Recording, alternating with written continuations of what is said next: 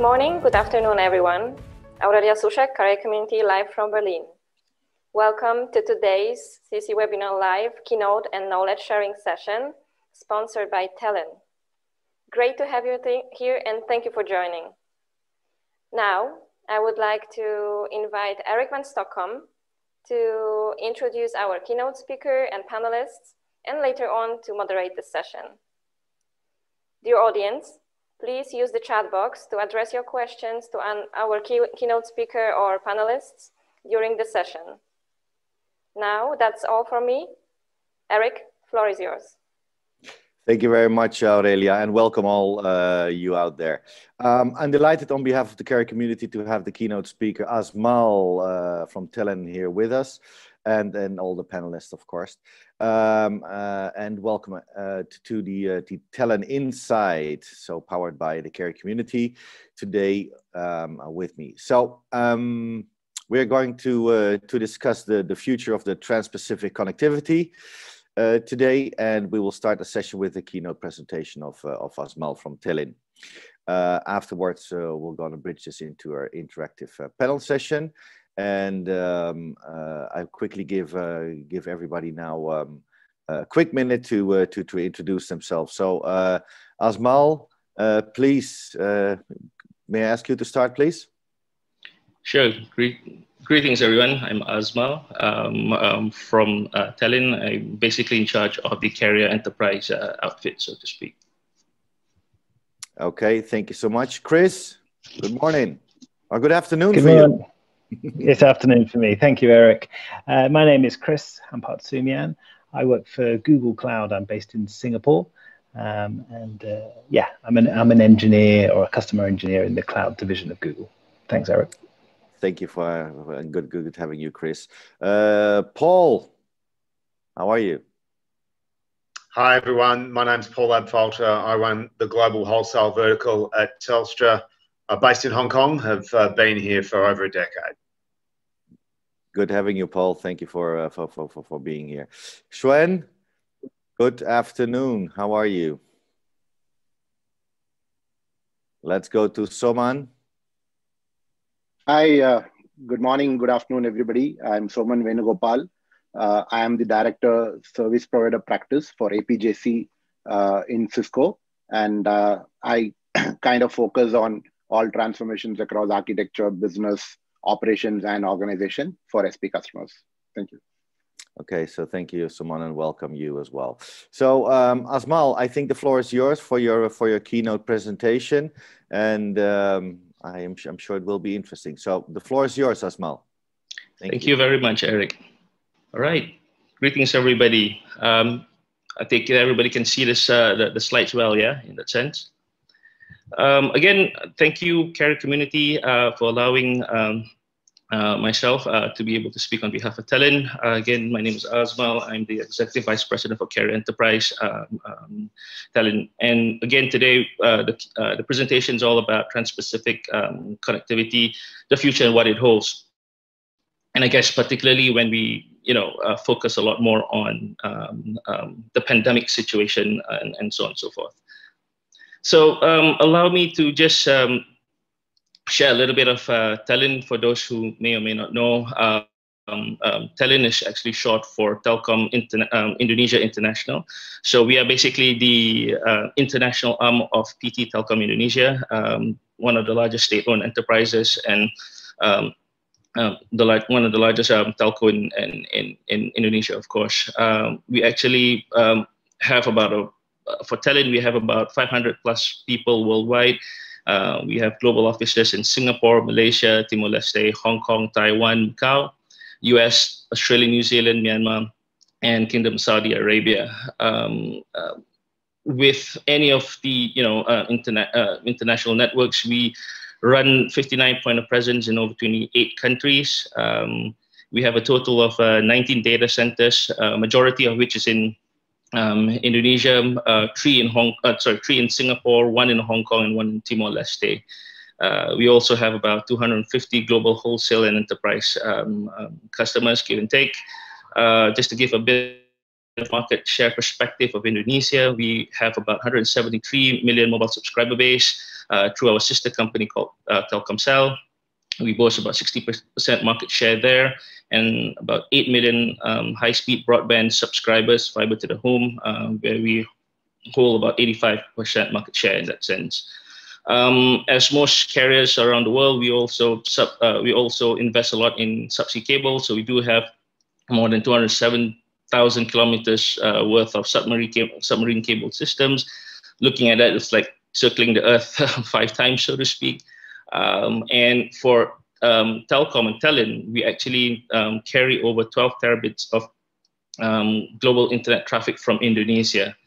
Um, and based on uh, uh, based on Renesys, we are currently ranked number two in the world from a peering perspective. Um, we we do a whole lot more of um, uh, localized peering, if you will, uh, or global, local, local um, peering points uh, based on a point of presence uh, in order to serve our um, subscriber base uh, or our, our eyeballs to be as close to content as possible. And of course, um, some awards that we've taken along the way. Uh, again, uh, thank you very much, Carrier community and the community as a whole. All right. Um, so again, coming back to the future of Trans-Pacific, I know, well, we talk about Trans-Pacific, but to be honest, I think everything's all interconnected anyways, uh, so to speak. And the main point about, about um, fiber connectivity, again, is the impact of the pandemic situation. I know this has been discussed time and time again, but again, with uh, thankfully, with the here of a new cure coming up pretty soon, I guess the whole idea is what, what can we expect out of this, uh, so to speak. Um, um, so again, uh, if, if, if we were to look at the impact of the pandemic situation, before the pandemic situation hit, if you were to look at this part of the slide, the bar chart clearly shows an, um, a trend in terms of capacity. If you were to look, um, I think maybe it's a bit small, the bars down here, these are transatlantic, this, uh, these are basically trans-Pacific, and uh, this is basically trans-Asia. So I'd like to focus on the, the, the three uh, bars, uh, if, if you will. So of course, needless to say, transatlantic, there will be so-called the glut of um, uh, traffic, so to speak. Um, Trans-Pacific is also not too far behind uh, if you were to add Trans-Pacific as well, and Trans-Asia in a sense. And again, before pandemic situation is already on um, um, quite high. Of course, with the pandemic situation, one will likely estimate that has, um, um you know, at least increased by more than 50 to more than 50 percent, if not double up, uh, in terms of um, um, the capacity growth and, and, and requirement, so to speak. So and if we were to look at the pattern, you know, with the pandemic situation, everybody, you know, um, going more online, so to speak. So the information that we got or the data that we got from via social clearly indicates the increase in terms of uh, online uh, usage and digital activities. So there was a study done by them um, for people within the demography of 16 year old with 64 with uh, countries that's uh, spanning the globe really. And there's been an increase of 54% uh, um, uh, watching more online streaming.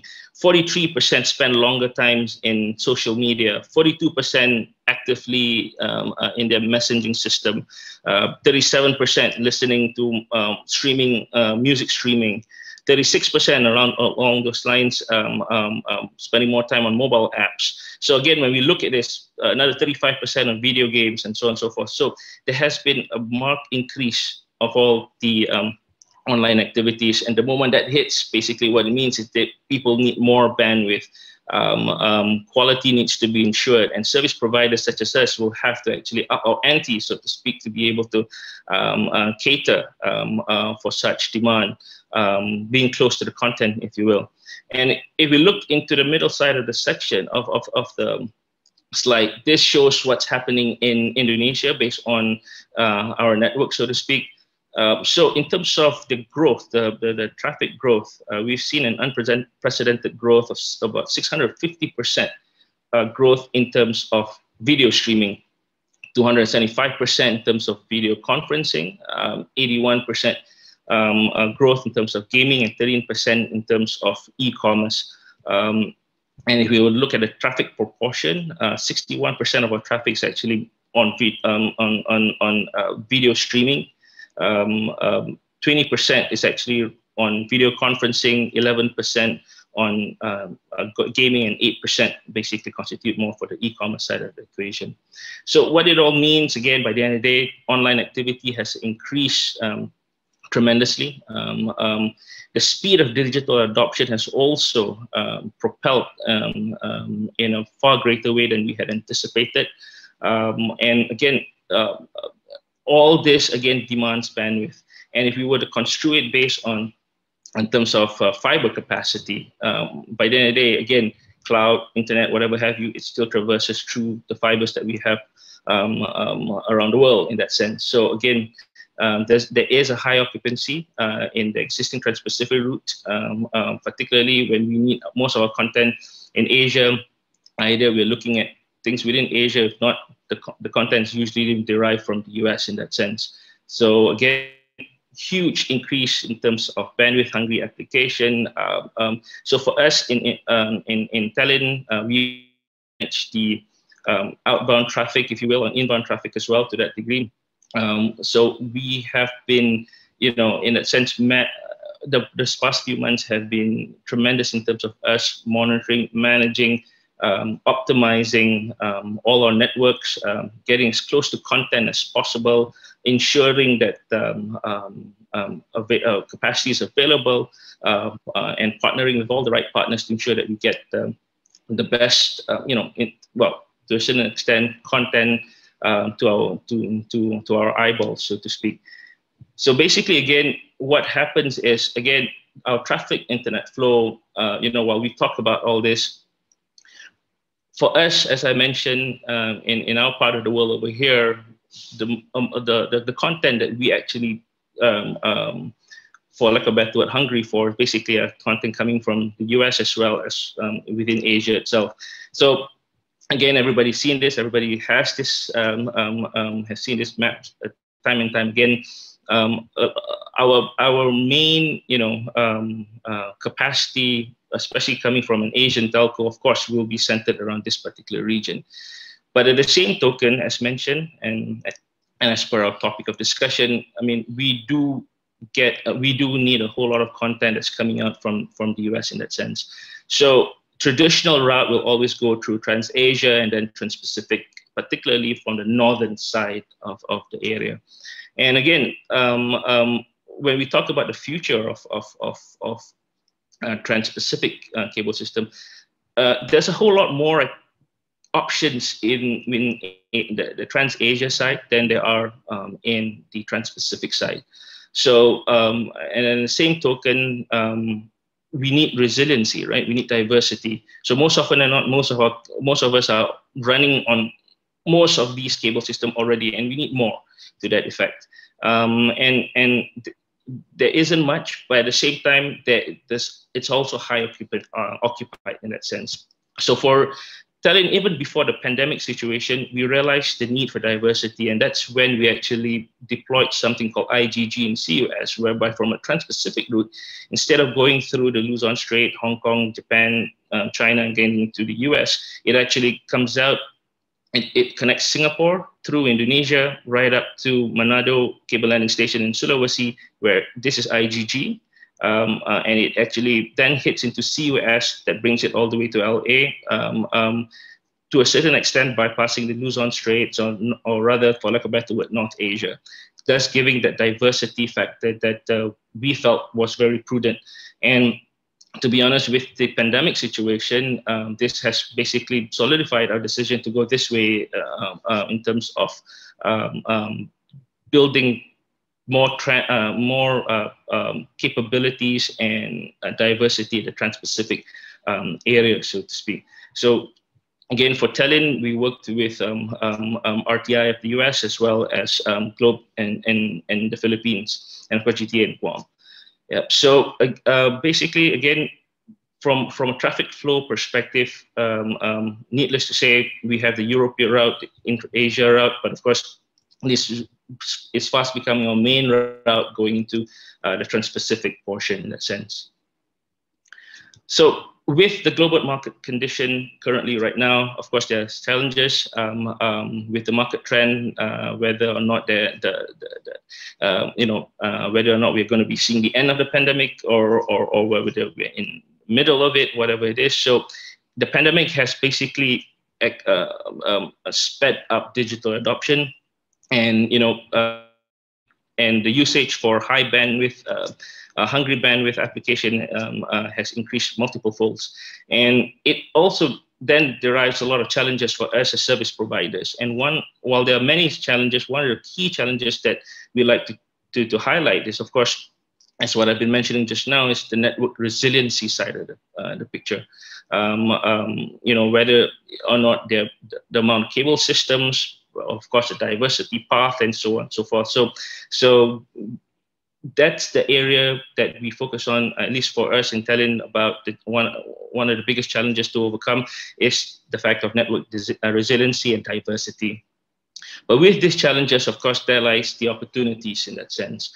Um, um, and for us, we felt that, again, before the pandemic hit, we already felt that uh, an alternative route is required. We were too heavily dependent on the traditional way um, um to get to the Trans-Pacific side and getting to the US. So, so therefore, we again, as mentioned, we decided to invest on on on IGG SEA-US, hence using Southeast Asia um, out rather than Southeast Asia, North Asia uh, into the US.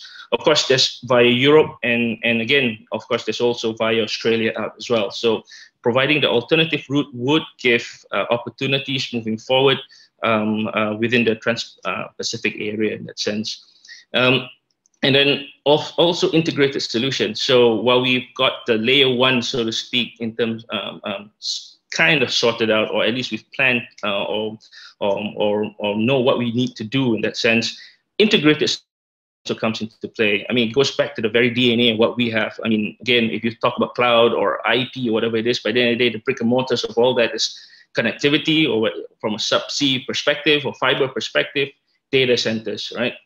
So um, uh, it gives us an opportunity to actually come up with seamless con uh, uh, connectivity solution, amalgamating our submarine side of the equation, data center, um, cloud services, and, and even IoT, so to speak.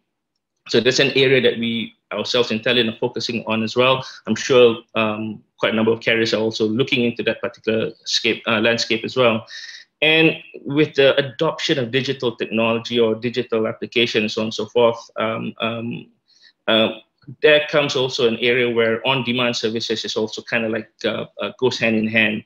Uh, so even for us right now, um, what I can share is that for Telin, we are also fast developing um, uh, some new products in, uh, that we look to launch pretty soon that basically digitalize our DNA services into a digital field, so to speak, thus uh, giving on-demand services and quick access um, uh, via APIs and so on and so forth. By the end of the day, we also hear, you know, the demand of the customers. Um, um, some customers, you know, these days don't even want to see us. Everything's online, so to speak. So areas that we are we're listening. And that's by the end of the day to ensure the best experience for our our our customers, partners, and users. So in a sense, for for Telin as well, um, you know, um, we see tremendous growth um, um, for trans the Trans-Pacific route. The challenge there is that we don't have enough um, cable systems. Uh, um, you know, to deploy cable systems is not uh, cheap, to say the least. Um, um, investments will be challenged to that degree, um, but we also do feel that you know the demand is there, the the capacity is required, and Telin with our global partners. I mean, we're here to actually bring Indonesia and ASEAN to the world, and of course, the world to ASEAN as well as Indonesia. So with that, um, I end my presentation. Thank you very much for listening in. Over to you, Eric. Thank you very much, um, uh, Azmal, and very interesting uh, presentation. Let's have a look if there is, uh, let's say, any question, uh, maybe in the chat box. Uh, you people out there, you can always ask a question in the in, in the chat box when you're uh, when when you're joining us via Zoom.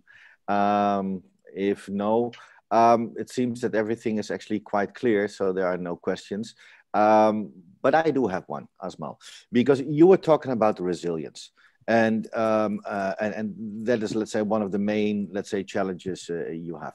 Can you give me, let's say, an, an example where you uh, strategically, actually, on on on on uh, Telin's board, was that resilience was so important uh, and um, to uh, to to address. Can, can you give us, let's say, and, and, something to hold on to, make it make it, you know? Do, yeah, do you well, have for us? Well, on layman's term perspective, again, by the end of the day, um, it's something which operators or ISPs or telcos such as us sometimes face. Um, um, touch wood, we hope that it doesn't, but fiber cuts, for example. So, so simple fiber cuts, whether it's due to fisheries or or tectonic plates that shifts, um, you know, uh, creates a subsea fiber cut, and and that's has been rampant, so to speak, within the Trans-Asia route, so to speak. And for us to actually hit to get to the US, for example, we need the Trans-Asia, then the Trans-Pacific, right? So, and the Trans-Pacific, most of our cable system is really running from Hong Kong, uh, Japan, China, back to the back to uh, to the US. So that's why, again, as I mentioned, um, uh, um, we decided to use a different approach where it then comes out. Basically, we connect Singapore into Indonesia and then out by SEA-US that takes a trans-Pacific uh, route, but on a more southern part, so to speak. Yeah, no, no, no, that, that, that, that that's clear. Well, again, thank you very much, uh, uh, Azmal. It was uh, was a very interesting presentation, and uh, thank you for sharing. Uh, uh You're welcome. Uh, the, story and the insight from from from from. Now, um, as you mentioned, we um, within your presentation, it's all clear. The the future of the Trans-Pacific connectivity. That's actually what we're going to talk about. The current trends, the challenges, the opportunities. of course, again, the resilience of the network, as as Azmal already mentioned. Uh, you know, how prepared are we? And and maybe we can look. A, we have time enough to look a little bit into the future.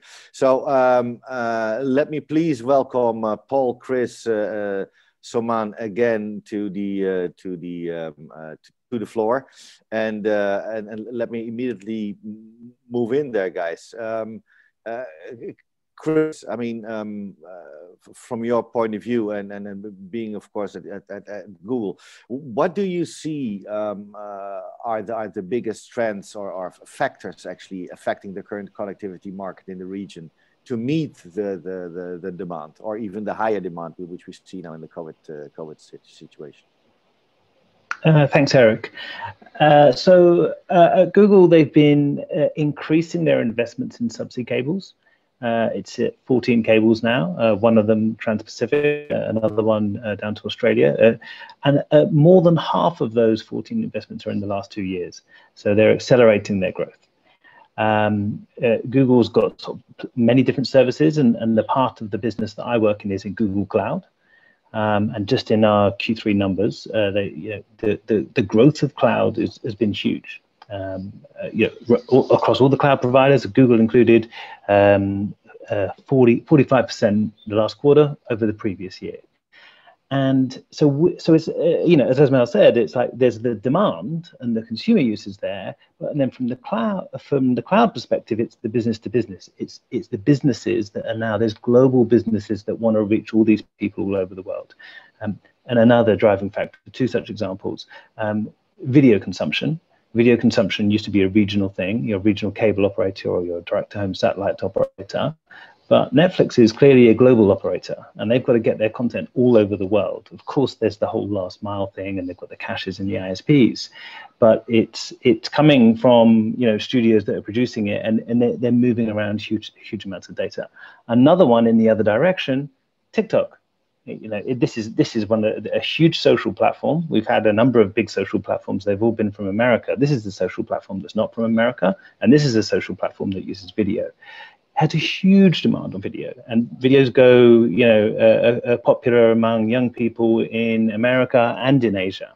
So they've got to move around the world. So we we so Google will have that's why they've been you know they've got the, the consumer end in, in YouTube and Google services. They've got the cloud end in enterprise, but they're investing in subsea cables because it's the driving force behind all of those.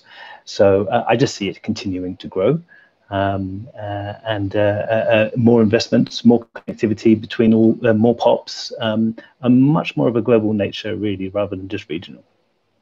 Okay, thank you. Um, Paul, from an operator point of view, from Telstra point of view, uh, and and being, let's say, playing a major role in the in the in the, in the Asia Asia Pac region, of course, and and throughout the world, um, what is the, the, the biggest trends or the factors that that, that that that you see are affecting the the, the connectivity market actually? I think uh, two big changes, two big trends for this year. Obviously, COVID and geopolitics. I think um, the COVID side, you know, the, we've talked already a lot about how much that's accelerated and brought forward a lot of demand. You know, massive demand spikes, really a couple of years worth of demand in one year. Um, but it's also caused a lot of other issues on the manufacturing and build side. So, you know, huge issues in terms of getting travel happening, both within countries and, and internationally. Um, various marine delay issues because of the COVID situation as well as manufacturing delays and you know some of the manufacturing uh, uh, facilities with the um, with the cable vendors have been shut down for a period of this calendar year. So that's been a bit of an issue in terms of backing up what was already a big backlog of builds that were really necessary uh, in the region. Um, and obviously, um, um the geopolitics side has really changed the um, direction of a lot of the traffic in, in the industry and sort of moved the center of gravity to an extent a little bit east and south. Um, and I'm sure that's something we'll, we'll get into a little bit more today. No, absolutely. Thank you. Um, uh, Soman, um, Cisco, well, how, how, how, how do you see it? Do you agree with the guys or do you see, see something else uh, as a trend or? Yeah, I think uh, we are uniquely uh, uh, situated, right? And, and we are seeing the cloud, we are seeing the service providers, and we are seeing the enterprise. Uh, and I feel that the uh, global trends that are shaping this network demand, uh, of course, it's accelerated by the pandemic and the current scenario, uh, are, are five important aspects, right? There's, there's a lot of globalization that's happening. Uh, there's a digital business transformation that's happening. Businesses automating stuff, so business automation is picking up. Uh, there's a lot of resilience that's built on business and operational. So the business and operational resilience is, is shaping up in a large way and sustainability, right? So, so these are the five uh, global trends uh, that are shaping up the network demand.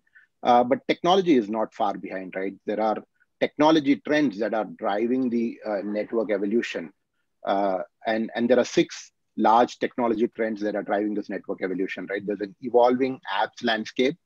Over the years, we have moved from a voice economy to a uh, to an app economy to now a video economy, right? And and and there is a uh, there's a there's a good option to move from the video economy to an uh, AR VR economy uh, from the uh, from the evolution of technology, right? The second is IoT, uh, which is a, a, massive technology trend that is driving network evolution. The third is AI, and then you have mobility, security, and immersive experiences, right? so these are the large six technology trends that are driving the network evolution. But what is key in, in all of this uh, is obviously connectivity, right? And connectivity is that kind of common denominator uh, and, and, the, and the common framework on top of which all of these capabilities are built and driven. And uh, fortunately or unfortunately, you know, everybody talks about 5G and cloud, uh, but there is a very common construct that is behind the scenes, that's behind the curtains, which is shaping up all of this, which I feel is the uh, submarine networks, right? And and uh, it's it's like a kind of uh, you know the foundation which is not seen. Uh, people just look at the buildings and the uh, you know doors and windows, but I feel submarine is the foundation which connects all of that together, right? So it's extremely important to not just look at submarine as a capacity enabler, but also look at it from the evolution of enabling uh, not just uh, global growth and globalization, but also technology trends. Uh, so as I said earlier, right, in, look at all aspects of not just the technology and the architecture, but also the architectural transformation, the business benefits that you get out of it, how you operationally manage that, right? Resiliency, automation, management, and those aspects, and how you can have a smart team and a smart organization structure around all of these constructs uh, to take it uh, to, to where we want it to be, right? And and uh, we saw it earlier that video is kind of dominating it today, right? I mean, uh, 70, 80% of all traffic is video, be it streaming or conferencing and, and all of that. But there is a huge potential to move or uh, translate this video experience into a VR and AR experience. And, and you need to look at the silent guy who is the foundation of all of this in a, in a much more different prism, uh, which is key to our growth. Okay, no, absolutely, and and I, I think you mentioned there there are a couple of very interesting points. Um, uh, Azmal, um, uh, Soman was was was mentioning uh, also some some let's say some key challenges we, we, which is all faces. I mean the growth and and and what, what we're seeing and pinpointing uh, absolutely. That's why at the Carrier community we do take the time uh, and uh, uh, to talk about submarine because it is key and it is let's say the basic of whatever we want to do. Um, because by the end of the day, if, if we don't do not have the transport layer, not only for the transport for for transporting it, but if we don't have it, how do we get there? Right by the end of the day from one end to the other end of the world. Uh, even though that satellite is not covering everything or is much too expensive.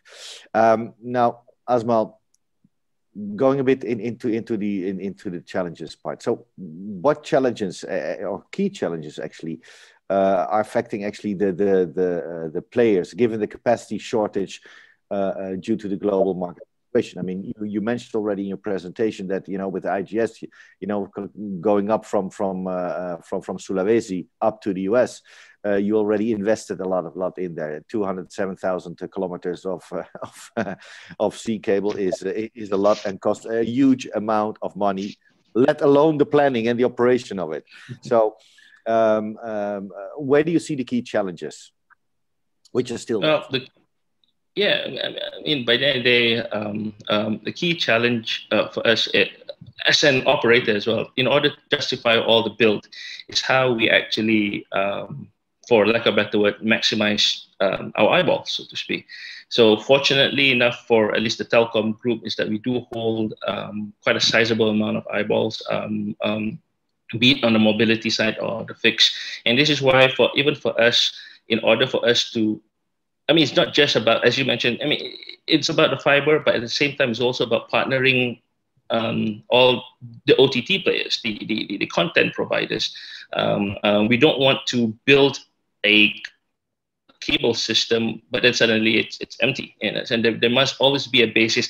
And usually the thing is this, I mean, for, for, for, for the challenge for that one is to justify it, is to ensure that we are, uh, for, for at least for the Telkom group, is that we have a base of serving our um, uh, our, our customers, our eyeballs, so to speak. And then, of course, then there will be the carrier wholesale side of the business, whereby we sell to other carriers, other other OTT players, and so on and so forth. And that's pretty much normal. But at least the main bulk, the main objective is actually to serve our end customers, our users, our eyeballs in that sense. So that that that and and and one of the main challenges there is to ensure that we always keep those eyeballs, and to ensure that we keep those eyeballs is again we need to ensure that we invest correctly, partner with the right people. Again, Telin or Telkom cannot do this alone. We need the Googles of the world, we need the Facebooks of the world, and so on and so forth. So, so again, the partnership is there. Um, uh, in many conferences, I always stress about partnership that we can't do these things all alone. We need to partner, um, um, and that further helps justify the challenges of trying to create um, or invest in new cable system. The other thing is basically, again, by the end of the day, you know, we live in a world where it's already to a certain extent predefined. So the path, the routes are already there. So again, you know, um, um, it's about finding new alternative routing uh, wherever it may be, so to speak. Uh, and for us, at least for for Telkom uh, and Telin and, um, and our partners, we managed to find an area where um, where it does provide that resiliency um, um, to assist and uh, uh, our traditional routes uh, of Trans-Pacific in that sense. Okay, Paul, being let's say a, a, colleague operator, um, where do you see the main challenges? And, and, I think you mentioned this already in your, in your opening statement. Uh, on the first question, but um, uh, where do you see the the the, the key challenges, um, let's say, affecting actually the the, the the, the shortage which we see actually? Look, I think even at the even at the best of times, uh, APAC is a really difficult region to build and operate subsea.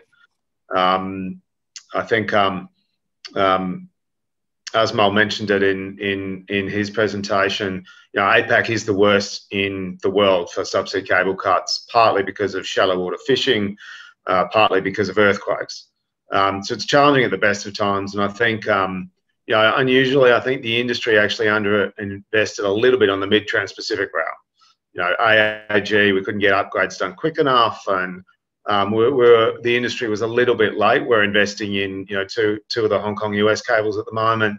The industry was a little bit late, and of course, um, um, whilst that was going on, we've now had some geopolitical issues this year, which have meant the direct Hong Kong US cables need to be reconfigured. We're investing in both of those um, in terms of um, uh, HKA and, and PLCN.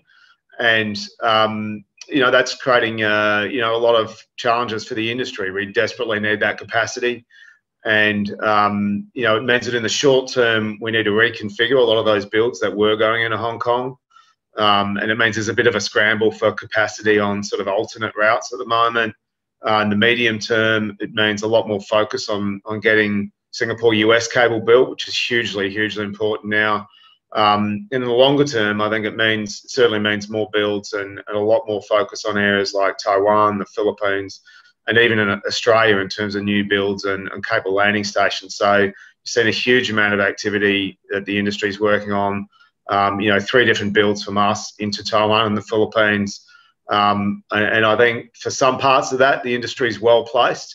And for others, you know, we're, we are scrambling a little bit in terms of, uh, um, in terms of sort of underestimating some of those geopolitical issues and some of the need for those uh, reconfigurations. Um, so a huge amount of activity, but a, a, challenging region to get builds done at the best of times. I think um, we sort of look at Taiwan and the Philippines, you know, in a way that's um, you know, we're very, very large operator there. We own multiple cable landing stations. We've got two fully owned cable systems going in there, as well as one partly owned one. Um, so, you know, we're well placed to help manage a lot of those reconfigurations, and certainly we've we're doing a lot of heavy lifting on them now. But we're a little bit behind the curve as an industry, I think, in terms of predicting the rise of their importance and and, and a few of the other uh, locations in the region as well. No, the, the, the, Paul, I, I think you're right, and especially with, with the, the challenges you, you, you mentioned before, um, uh, they make make it difficult, of course, but and, uh, and and I understand. But on the other hand, I mean, Chris was just telling us that that, uh, that they're investing in 22, uh, let's say, cables down there. So is he not partnering with you, or is it the other way around? because I, I, think, uh, as Azmal said said correctly, and so sorry to drop a little bit of bomb here, but um, uh, partnering is is key. I mean, I see this as, and we all see this actually in, in other regions as well. That that is the only way for everybody to to achieve more. I mean, this is for what we were why we call it team, right? It's uh, and um, uh, uh, so Paul, um, uh, or maybe Chris actually. Sorry. Yeah, certainly from a transoceanic point of view, you know, they're expensive builds, they're challenging um, it's super important that you partner up. And certainly, you know, we're a close partner of both uh, Google and China Mobile in particular. And we've got, you know, co-builds that we're doing across the region at the moment. We do a number of co-builds with uh, with Google. Um, uh, and we're, we're a landing station operator and a landing services provider to, to them for a number of their builds as well. Um, so partnering is is super important, particularly for the transoceanic ones. I think intra-Asia, the shorter routes, a little bit different. You know, we've, we've certainly historically gone on, gone on our own a little bit and been able to do that with, um, you know, the EAC and C2C fully owned uh, cable systems. Um, but look, partnering is very, very important. I think it also helps to, um, to an extent, you know, it, it helps cover the field from a geopolitical point of view as well. Um, you know, we're, we're very proud of the fact that, you know, we're one of the few providers that can land cable on both sides of the Pacific pretty much everywhere. Um, and, um, and, and to be very, very politically neutral in terms of the way that we do that. Um, and, um, you know, I think the way we partner and the way others partner is sort of super, super important in terms of, uh, um, you know, getting these builds happening and, and, and having us catch up a little bit in terms of the capacity that's needed in APAC, um, particularly mid Trans Pacific right now. No, absolutely, and I, and I understand, but, but but I think also that the factor is because um, um uh, we were all talking about it already, and we we know since years it is the, the investments are huge, and now we know that that uh, for instance the Googles they have a bit more deeper pocket than than let's say the operators, correct? So Chris, uh, are you helping those guys? Are you helping the operators? Are you open for it? What? Uh, tell me. Sorry yeah, for dropping. Yeah, no, no, that's, that's, that's quite all right. Uh, of the cable investments that Google are involved in, uh, I think all of them are one are uh, consortiums and partners. They're, they're rarely going into themselves. And I think, as Paul mentioned as well, we don't have the landing stations. So we have all landing station agreements with Telin, with Telstra, um, who have already been there and have already been doing this. So Google is actually much newer to this. Um, and as I say, they are partnerships interestingly, sometimes the partners um, uh, and the Facebook of the world, uh, and, and sometimes it's a mixture of the kind of the OTT, the newcomers, and the um, traditional operators as well. So we, we partner with both sides, um, and we need to partner for landing stations as well. Mm-hmm. No, absolutely. So um, uh, I'm, I'm happy to hear this because, um, uh, you know, a, a, lot of people, a lot of operators, let's say, in the old days, and I'm, old days is already, is even five years ago, they were massively afraid about you. And what we see now is that finally, you know what? You don't have, you, you look the same human as, as everybody else, you know? And uh, and and I'm, I'm happy to see that that as as, as Azmal uh, put it rightly, and, and Paul as well that that the partnering part is so important because otherwise we we we, we can do it. And uh, uh, so Soman, you you you mentioned a couple of examples that uh, you know, if if if if the submarine is is is let's say um, networks are not happening, nothing is happening. So, um, uh, Soman, if you if you allow me, I mean, we were talking about the the the the the, the challenges and and uh, which are out there, of course.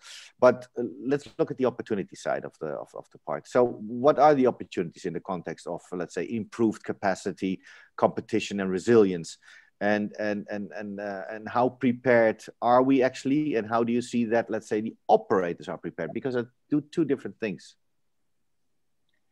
I think uh, if you just look historically in the last uh, uh, you know 200 days, and uh, unprecedented and unexpected uh, burst in uh, surge in traffic, right? and and and the most interesting phenomenon is the traffic is spread out, and it's a constant thing across you know the Asia Pac. If you look at it, right, people have moved from super dense regions to you know urban and suburban, and people have moved spread out kind of across geography and the traffic is spread out across geography right uh, uh, and and the interesting phenomenon is if you look at it uh, the industry has moved away from from being a busy hour kind of a, a metric uh, to a busy span of time kind of a metric, right? So so it's not just that the people have moved out in terms of geography, in terms of data consumption, but the data consumption window has also spread out from being a busy hour traffic to a set of hours uh, over a period of time. Right now, you're always connected all the time, and uh, the consumption is spread out over a period of time. And uh, if you just look at the larger internet, it has stayed strong and it has stayed uh, rock solid, right? So fundamentally, the belief in IP as a protocol uh, to to be it on uh, you know terrestrial or be it on submarine has been a very rigid and strong approach, right? So it's it's extremely important to uh, ensure that uh, we as Cisco and you know uh, the companies in the technology space are constantly innovating and uh, rolling out silicon at a faster pace to meet those demands. We need to pump and pump more TBPS per chip or per RU at a, at a very safe uh, power consumption level, right? So that's a very important aspect in terms of what product innovation should do because this growth in consumption is not stopping. And if you really evolve from a video economy to a virtual reality and an augmented reality economy over a period of time, I think the uh, the kind of TBPS that you have to pack in per RU at X watts is going to be unprecedented scale, right? So product innovation is extremely, extremely critical. Uh, the second part is obviously the partner innovation. I think all of us spoke about, and I see a rush from operators wanting to lay out submarine cables on their own to consortiums. Uh, so, so there's a larger uh, factor now. You can see consortiums coming out more and more with uh, as many as a score of operators tying up uh, because we could do these calls on uh, you know virtual uh, setup but you cannot go and lay a submarine on a on a virtual, right? You need hands and feet on the ground, and and that's where consortium comes in. It's it's a pack of operators and partners and like-minded people coming together as a consortium and uh, laying out those uh, you know incremental capacity under the sea, right? So so definitely partner. And the third aspect is privacy, right, and and security. Uh, I know submarine is not like terrestrial. It's it's not uh, very easy to go and tap a submarine cable.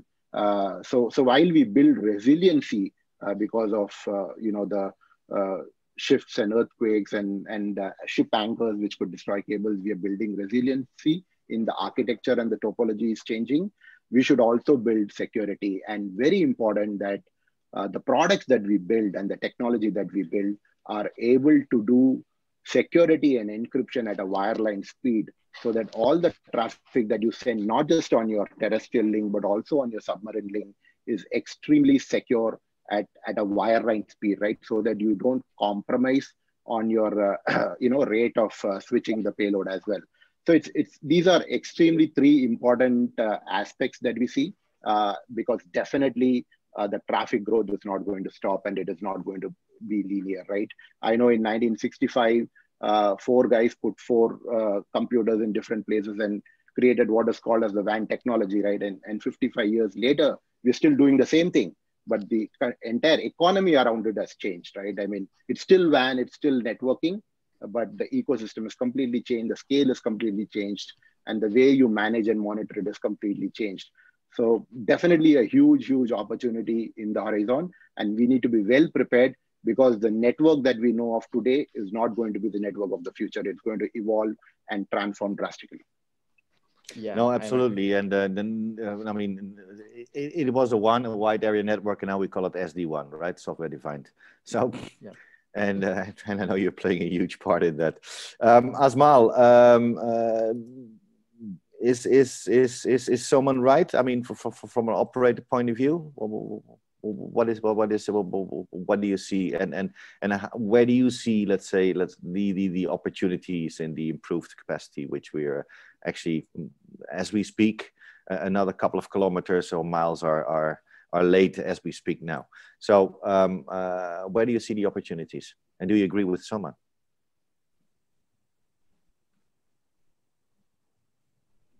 Azmal, if, Azmal, if you can I'm, sorry, I lost you for a bit just now. Um, okay, so I sorry. No, you...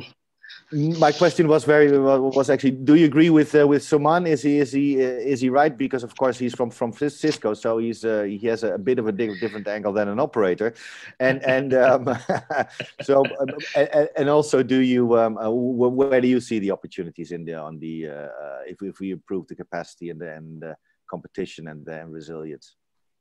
Um, um, I'm definitely in agreement with uh, with Soman. I mean, he is coming from an approach of you know augmented reality. So basically, it's the application layer, um, and this is something which us, uh, well, the telcos, while we are getting ourselves definitely involved because of customer needs and so on and so forth, but it's not something that we can just whip up just like that. So so again, it still goes back to the partnership that I've been talking about. You know, we are we are good at what we do, but it doesn't necessarily mean that we can just suddenly become the Cisco of the world, so to speak, creating augmented realities and security and so on and so forth. But do we provide such services to our end, end customer? That's a yes.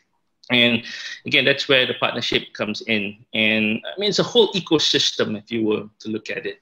Rightfully said by Soman as well, you know, whatever that we create, it needs to traverse. And by the end of the day, they traverse on IP.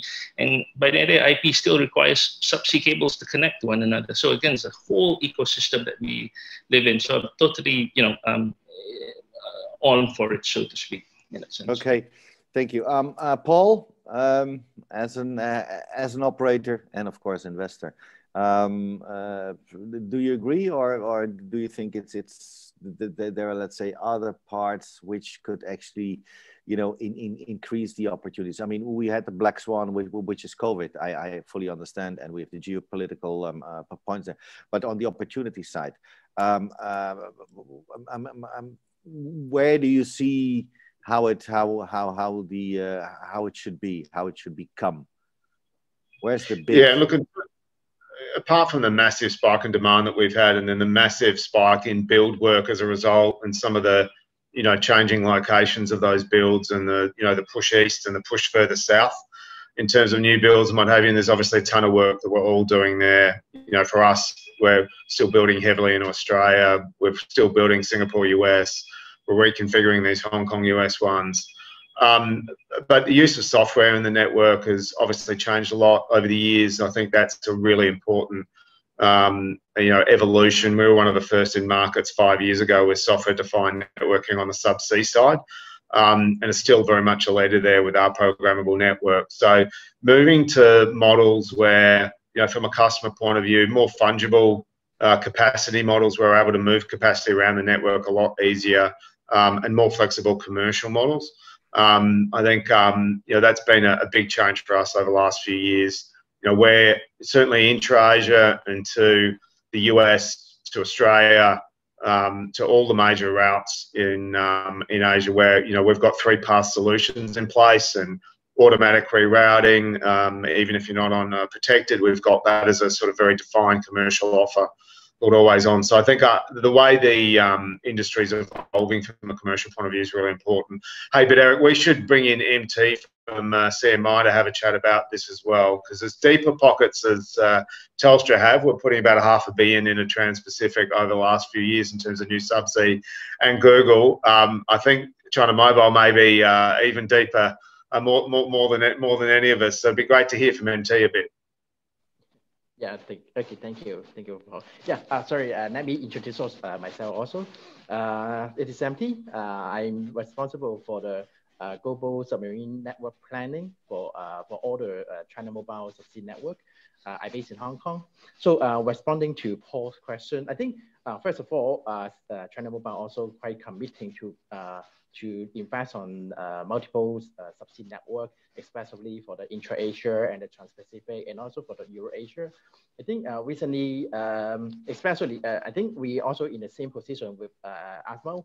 Uh, uh, as long as the uh, Asia operator, most of our traffic will be traveled along between, within the Asia from Singapore to Hong Kong to Japan. I think Hong Kong also being one of the important gateway for the China. So no matter the traffic coming into China or coming out from China to any anywhere around the globe, also passing through China. So I think Hong Kong still being very important for uh, building the subsea cable. So uh, back to the uh, diversity, uh, in Hong Kong, we also building uh, uh, already building multiple of cables in Hong Kong, including the cable landing station. Uh, we have uh, we already already having two different cable landing stations in Hong Kong for the uh, for multiple cable system, and we are also continue to seeking another opportunity to build another new one. And at the same time, for the for those traffic, um, I think um, uh, I also agree with uh, Soman about the uh, innovation of the technology. Uh, back to 10 years ago, I think uh, most of the, uh, the cable system design around 2010, most of the cable system is talking about maximum cap decided capacity. We'll be talking about maybe 10 tera. But I think the nowadays, the, all the new cable being designed already talking about for 100 uh, tera for uh, per cable system. So um, uh, it is definitely able to seeing how uh, innovative for the uh, technology. Uh, at the same time, what is the demand for the for the internet? I think um, actually we also thanks to the internet. Um, without the internet, I believe in the in the pandemic uh, situation, most of the activity already being closed. I think um, because of the internet, we can, we can keep uh, online shopping, we can do the uh, e-payment, online payment, online banking. Uh, it is able to keep uh, parts, uh, part of the economic activity to be continued. So um, I think in our daily life, we also make, making use of the internet a lot uh, at least we're still able to making the uh, the, uh, the webinar over there uh, like now, right? So uh, most of the activity still able to continue, even though all of us are unable to travel. So um, back to the, uh, the topic about the partnership, I think nobody is able to do anything by themselves. So um, that's why we also part, have it very uh, happy to working with multiple partners. We're working with Telstra, we're working with Telin, we're working, we're also working with uh, Google for multiple uh, cable projects. So um, uh, uh, uh, for the for the diversity, definitely it is very important because uh, no, I don't think there is any cable could, could be guaranteed no any uh, cable cut or cable fault in any time. So uh, multiple uh, diversity definitely will be part of a uh, very important topic, especially when we are we already rely on our technology to uh, rely on the on the subsea infrastructure to maintain our current current life. So I think um, yeah, th thanks again for Paul uh, for introduction and yeah yeah I, I pass time back to Eric. Thank you, uh, th th thank you, MT. So, um, uh, staying with you, wh where do you see in the in the in the Asia Pac, let's say the uh, the, the, the the the biggest opportunities in general? Uh, sorry, the question for me, right? Sorry, yes, yes, it's for, for you, MT. Please, please, sorry. Yeah, where do you I see think, the, the, the the the the biggest opportunities lying? I think uh, uh, Asia definitely will be one of the uh, uh, growing area because um traditional uh, area, uh, traditional traffic, I think definitely uh, America uh, still being the core of the internet. Most of the content will be traveling, uh, will be transmitted from uh, from North America, from US. But um, uh, as of the population in Asia, uh, it is a very huge population. No matter from China, from India, from Indonesia, all of these countries also uh, having a of population. I think maybe more uh, more than uh, maybe around half of the uh, world uh, population. So um, uh, actually, the user, the people will be the user of the internet. So traffic across this country will definitely very will, will making boosting up the the requirement, the demand for the subsea network across multiple countries. For example, between Singapore to Hong Kong, actually, uh, as per uh, mentioning by Paul, the, um, there another popular topic within the Asia will be uh, Philippines, Taiwan, and also Indonesia.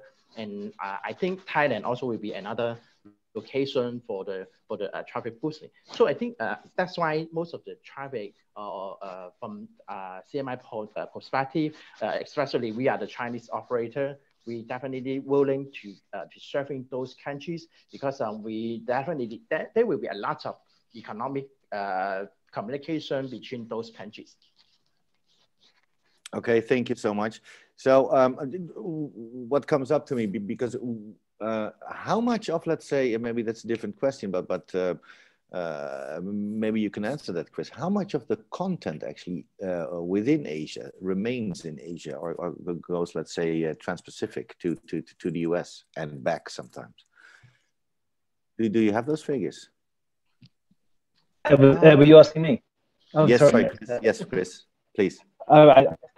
Um, so we have multiple origins for the content. Uh, uh, obviously, there's a lot localized you know, people produce content in Asia, people watch it in Asia. People produce content in Europe and America, and they watch it there too. And then you get the spillover, um, and that's where the subsea cable comes in. You know, the, the edge egress is is you know way outstrips what the subsea cable system is. And even if only ten percent is is going transcontinent, um, uh, it's still 10% of an extremely large number that's being egressed from the from the mobile operators. Mm. Uh, yeah, so they, yeah, yeah, you know, YouTube relies on on subsea cables. So does this video conference. You know, we're all using uh, we're all using subsea at some point to talk to one another today. I think.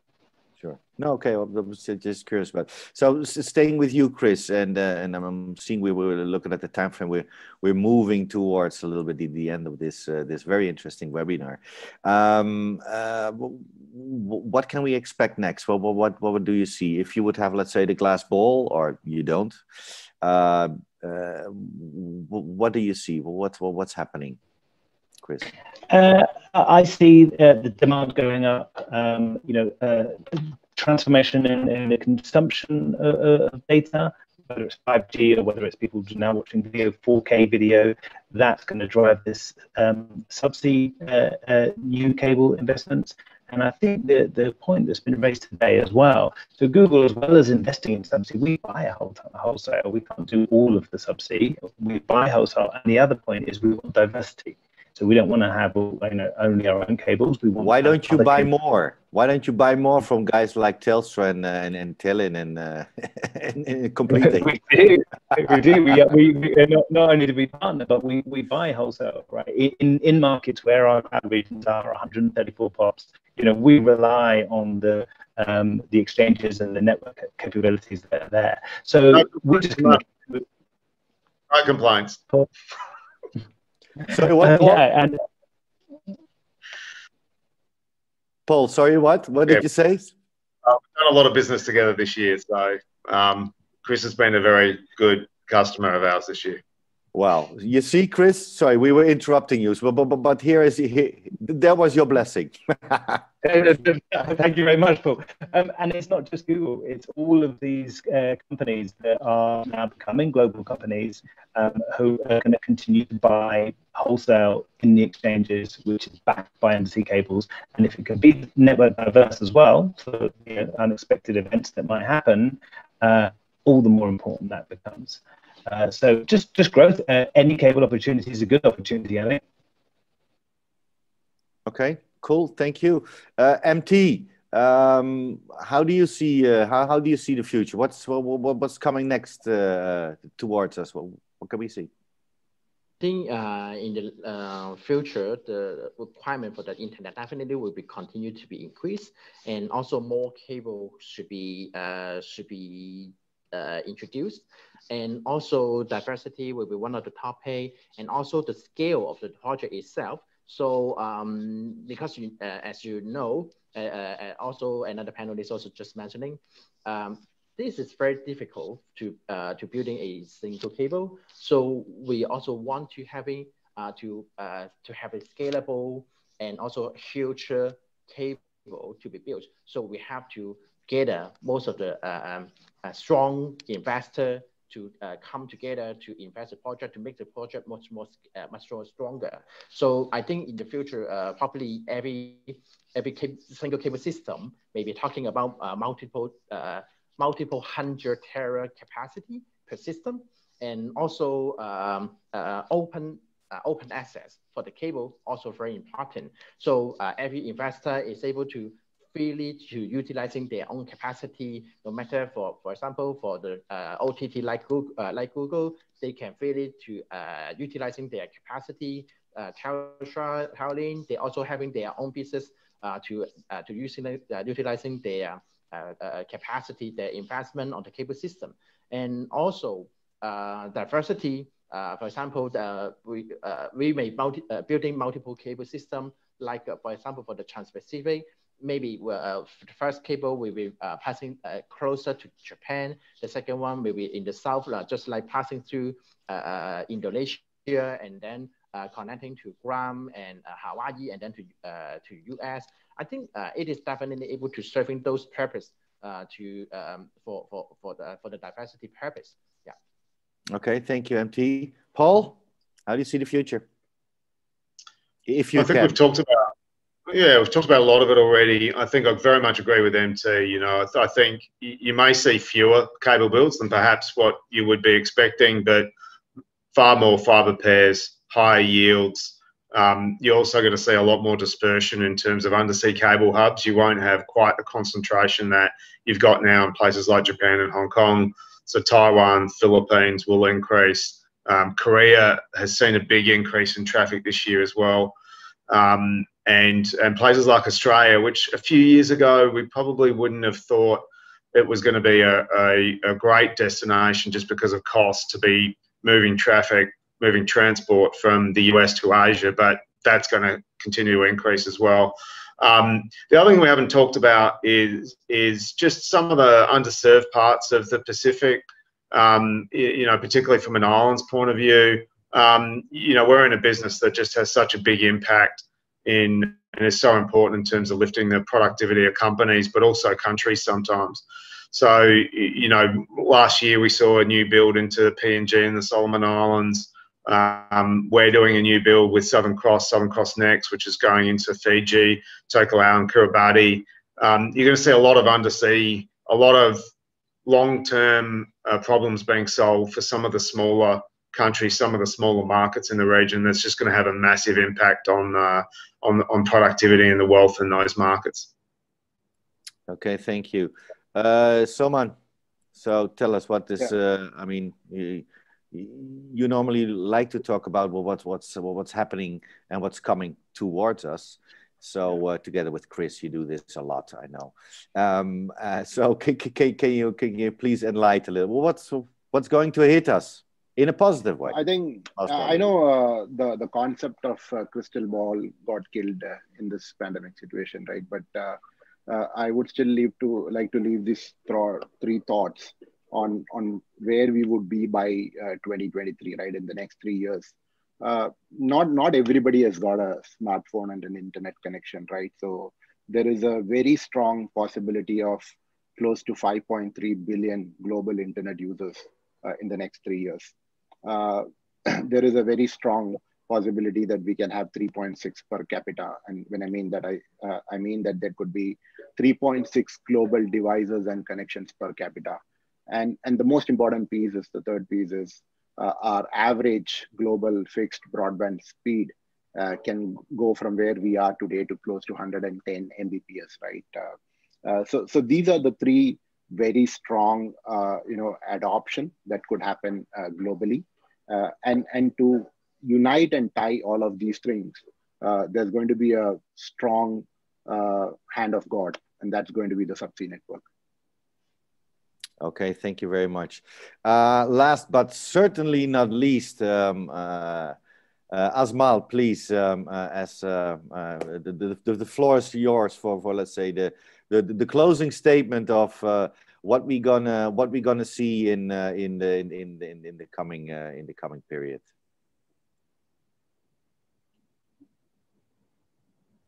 You're on mute, Azmal. You have to unmute yourself, Azmal. there you go. Sorry, sorry. Um, well, thanks, Eric. Um, um, and again, um, I totally agree with all my esteemed um, panelists. I mean, all the points have been well said, well put. Um, again, for me, I, IP will still be the next big thing. Everything will still run on it. and you know there'll be more digital adoption, uh, definitely more growth. Uh, hence more partnership and more opportunities you know so you know to sum up i think uh, um, whether there's pandemic or there's no pandemic geopolitical whatever it is you know it's just that digital digital adoption will always be there. The new norm is here to stay whether you like it or not. So again uh, it's already entrenched in our day in our daily lives. Um, so what does it mean to players such as us? More partnerships more opportunities more growth. That's it. Thank you so much, Azmal. And uh, ladies and gentlemen, it, it seems that we are uh, we, we're getting to the end of this uh, of this very very very interesting um, uh, uh, webinar live uh, session here at the Carrier community. So I would like to thank the keynote speaker Azmal and and and the sponsor Telin. and, and for your um, participation and giving interesting presentation about about Telin and and of course to our uh, to our panelists uh, Chris, MT, Soman, and Paul. Uh, thank you very much. Uh, an honor having you all around the around this virtual table, uh, and. Um, uh, I would like to thank the audience for for, for joining uh, more than an hour with us, and and hope you uh, hope you found it very interesting. Uh, please stay tuned because there's much more coming uh, from uh, from the Carrier community webinars towards you. So from from my side, it's now ciao for now. See you next time. Stay tuned and stay healthy and safe. And and now I'll give back. Um, the floor to, to, to my colleagues in the studio in Berlin. So it's over to you, Aurelia. Thank you, guys. Dear all, we are at the end of our first Telin Insights webinar session powered by CC. On behalf of Carrier, of Carrier community, I would like to thank Telin for sponsoring this session, uh, Azmal for his interesting presentation, and our panelists, Chris, Paul, Soman, and MT for sharing their knowledge with us. Dear audience, I hope you found this session interesting and you enjoy the time spent with us.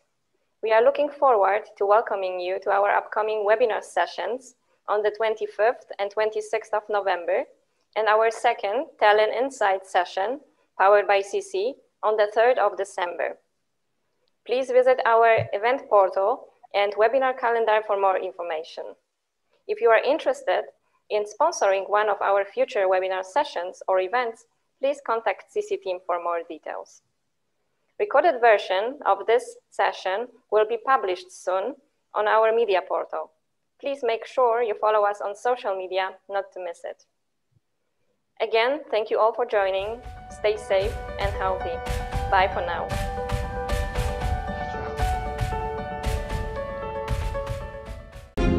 The changing environment is massive, especially in the telecommunication business, where the competition isn't just around the corner, it's across the globe.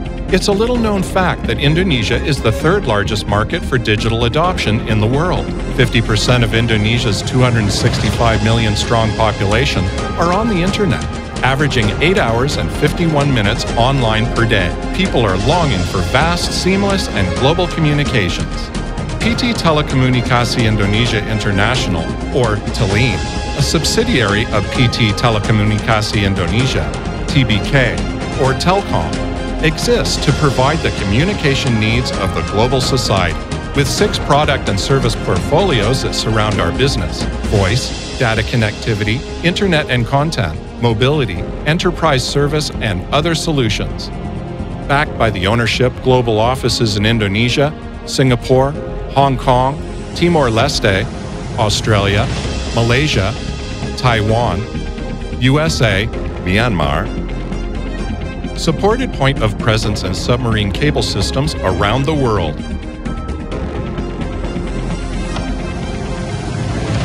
Nothing could express our appreciation to all stakeholders for the recognitions given to us along this journey. These commitments of TELIN in global telecommunication is nothing but to commemorate the needs of high quality services that have touched people's lives in social relationships, cultural, and economic impacts. And therefore, through this spirit, we present to you TELIN. Accelerate your digital expansion in Asia Pacific.